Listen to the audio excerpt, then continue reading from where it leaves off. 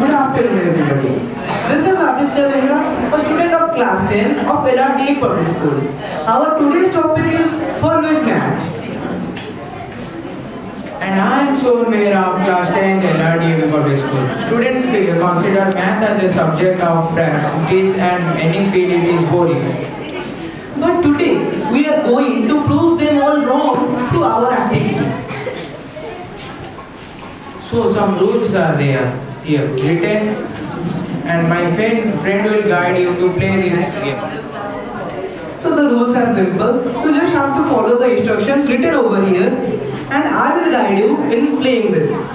So the coming up to, uh, coming up to the first person, the rules are you have to move two matchsticks to make the coin outside the glass and conditions are the uh, glass must be the exact same as before.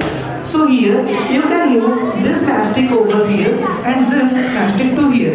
In this way the coin is out but the glass is flipped. Similarly in this way, in this you have to move two matchsticks to get the circle outside the glass. You can move this matchstick to here and this matchstick to here. These are some recreational activities which help us to make our mental health good and to spend our leisure time in an effective way. Then some students uh, lack time in examination halls. So for their solution, we have Vedic maths.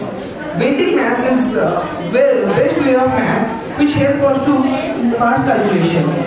For example, this question is asking the multiplication of 41 with 31.